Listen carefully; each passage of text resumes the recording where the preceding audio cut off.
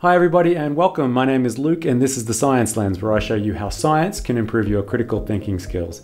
In today's episode, we're talking about the slippery slope fallacy. Who left this here?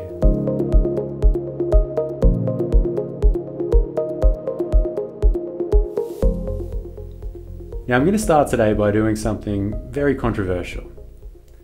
I'm going to question the wisdom of Master Yoda from Star Wars, but before you get upset, just watch this clip and let me explain.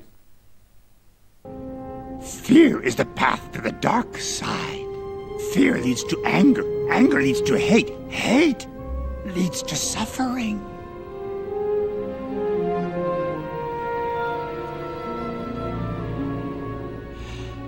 I sense much fear in you. In this clip, Yoda used slippery slope reasoning to predict Anakin Skywalker's eventual turn to the dark side, and while his prediction turned out to be correct, unfortunately his logic was flawed.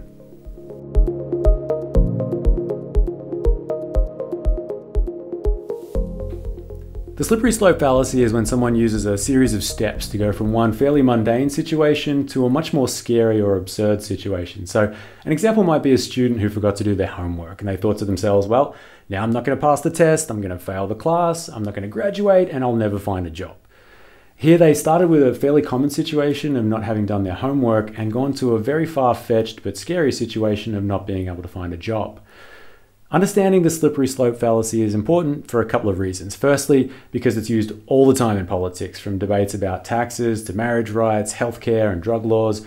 But it can also have an effect on our mental health if we catastrophize. I'll, I'll give you an example. A couple of months ago, I had this like pain in my neck, and even though I knew this was a terrible idea, I Googled my symptoms. So after Googling, I decided that I obviously had cancer, that it was incurable, and that I only had months to live. But of course, when I went to see a doctor about it, it turned out I just pulled a muscle while exercising. If only I'd used my critical thinking skills, I could have saved myself a lot of anxiety.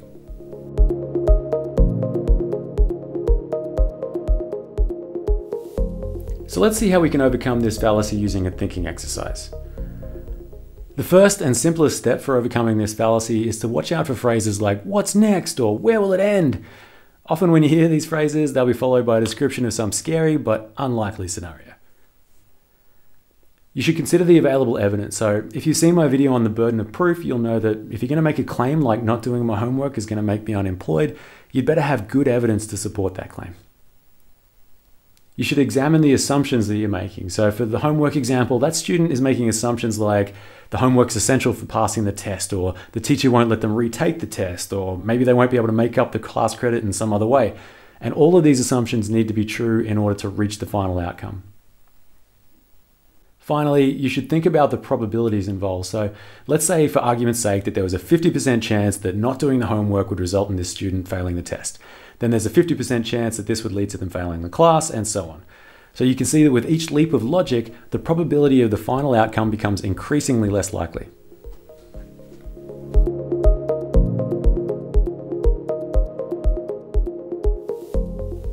Now, I'm aging myself a little bit here, but I have vivid memories from 1999 of the world becoming momentarily obsessed with something called the Y2K bug. Now, the problem was that when software engineers were building the first computers, they had to conserve memory wherever they could. And one of the ways that they did that was by setting the date format on operating systems to only use two digits for the year. So rather than 1999, it would just read 99. The problem was when the calendar turned over to 2000, this would make the year 00, and nobody really knew what would happen if all of the computers thought that the year was 1900. But there was a strong possibility that they would all just shut down. Now, without computers, banking systems would fail, electrical grids could switch off, and security systems at military bases could go offline. Now, the Y2K bug was a real threat and could have had some pretty serious consequences, but some predictions of what would happen relied more on slippery slope thinking than others. Some people suggested that we wouldn't be able to fix the problem, that all of our important systems would shut down, that this would lead to your basic purge situation, which would lead to a Mad Max situation, and eventually the end of the world altogether. So let's use two of the steps from today's thinking exercise to look at the Y2K situation more critically. Consider the available evidence. So, at the time, software engineers felt confident that they knew which systems were vulnerable and how to fix them. Governments and businesses invested billions of dollars to make sure that systems were upgraded, And while it's impossible to predict every problem, a heavy focus on things like nuclear weapons, electrical grids, water supplies, and so on meant that a large scale disaster was extremely unlikely. Examine the assumptions. In imagining a full doomsday, dogs and cats living together type situation, we need to make a number of assumptions, such as that we wouldn't be able to fix the bug, that any problems would be large scale, that governments would have no contingency plans, and finally, that anyone would ever make this guy the boss of water. Now, over the course of 1999, a lot of people would have at least entertained the thought that the Y2K bug could end the world. Everybody was at least a little bit anxious. But there's a big difference between the cautious concern that helped us solve the problem and the slippery slope logic that made some people think that the end of the world was a certainty. Well, that's it for today's video, but if you'd like some resources to help you practice the concepts that I covered today, you should check out my store on Teachers Pay Teachers. I've got a range of resources there for teaching critical thinking skills in the science classroom, and you can find the link to that down in the description below. Also, if you enjoyed today's video, please click the like button and subscribe if you'd like to see more videos on how science can help improve your critical thinking.